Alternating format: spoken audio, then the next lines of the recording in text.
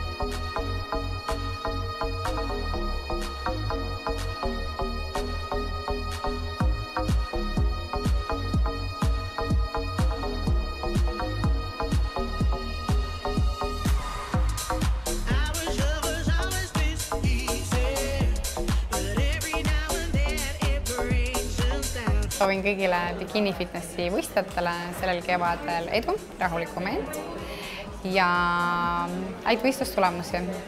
Bikini Fitness võistlejad esitavad teile spordi ja vabajõurõivaste brändi Janka Neve.